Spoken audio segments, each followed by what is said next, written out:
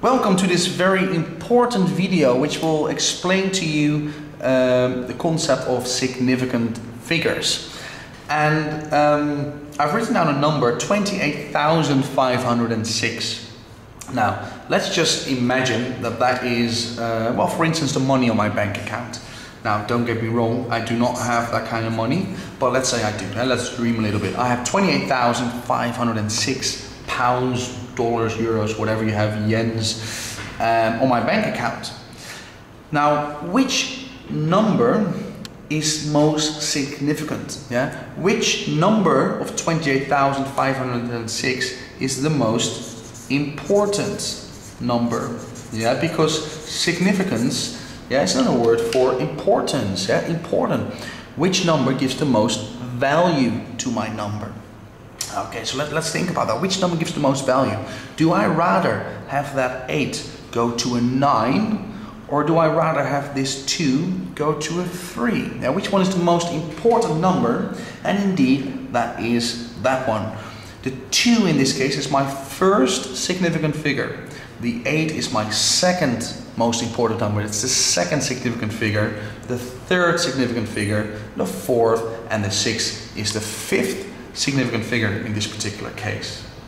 Now, if I would have to round to one significant figure, so let's say to 1 SF is what you encounter sometimes, then I round uh, similar as if I'm rounding just with decimals um, or other whole numbers. What is my first significant figure? It's the 2, and that stays a 2 or goes up to a 3, and that depends on the next number. It's a 5 or higher, so the 2 indeed goes up. To one significant figure, this is going to be, yeah, 3, but then it's going to be 30,000. Okay, so that's to one significant figure. It's 30,000. So it loses a certain amount of accuracy. Yeah, so the more significant figures you have, the more accurate your number is. If somebody tells me I have 28,506 pounds on my bank account, well, then I know that that person has exactly 28,506 pounds on his bank account because he just gives such an accurate answer to me or such accurate information. If somebody tells me I have 30,000 pounds on my bank account, well, then I know that he will have quite a lot of money in his bank account, roughly 30,000, perhaps a little bit less, perhaps a little bit more, but anyway in that area. But it's less accurate yeah, so the more significant figures you have, the more accurate your answer is. Okay, now let's take a look at this number again and let's round it to two significant figures. Two, and sometimes they'll write sig, fig, significant figures. Now, what is my second significant figure? So that's my first, that's my second. It's an 8. And again, it goes up to a 9 or it stays an 8 and it always depends on the next number. Like always when you're rounding. It's a 5 so the 8 indeed goes up 29,000.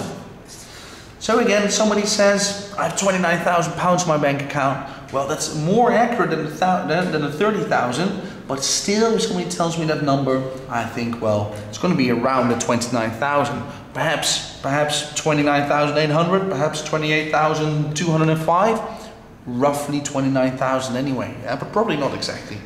The more significant figures you have, the more accurate your answer, your number is. Okay, now one more to three significant figures, the original number to three SF.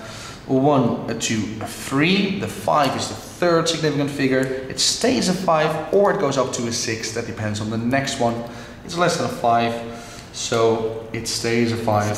So to three significant figures, it's going to be 28,500 and then zero, the zero placeholder, 28,500. Okay, and it's getting more and more accurate. Okay, now what I just want to add there about significant figures are, I want to say something about the zeros. So I'm going to write uh, a particular number, let's say 508 um, point zero. Now you see two zeros here. And what is my first significant figure? That's the 5. What is my second significant figure? That's the 0. My third significant figure is the 8 and my fourth significant figure is that 0 again. And if I will put a 1 here, then my fifth significant figure is a 1. And let's say put another 0 there, that's my sixth significant figure. So these zeros, when they are, let's say, in between numbers, yeah, in the middle, or at the end, at the right side of my number, they count as significant figures. So in this particular case, if this would be my answer somewhere, I have one, two, three, four, five, six significant figures. However, zeros that are written on the left side of your number, so for instance, 0508.010, they do not count as significant figures, yeah, because they don't, yeah, it's, it's nothing. So now, still my first significant figure is the 5, my second significant figure is the 0, my third is the 8, my fourth significant figure is 0, yeah. So those zeros, they do not count as significant, yeah, because we actually could put those zeros uh, in front of every number, yeah. So if somebody asks me, how many significant figures does this number have? I would say, well, this number is 200.0. It will have one, two, three, four significant figures because those zeros at the beginning I don't count. I do count them in the middle of my number and I count them all the way at the end. Yeah, so I count the zeros in the middle, they are significant. The one at the end is significant the ones at the beginning are not.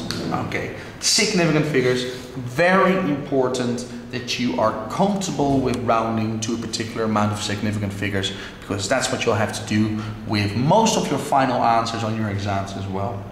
Now have a look at a few example questions in the next video to test your understanding. All the best.